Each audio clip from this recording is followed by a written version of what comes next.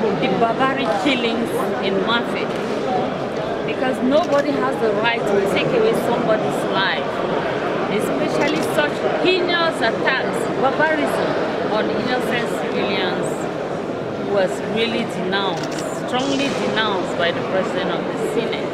And he called on the government to do everything possible to get the perpetrators He equally entreated us, the senators, to get ready, to work hard, to examine bills related with budgetary orientations for 2024 so that we'll be able to examine them properly to meet the, uh, the aspirations of our compatriots that we represent.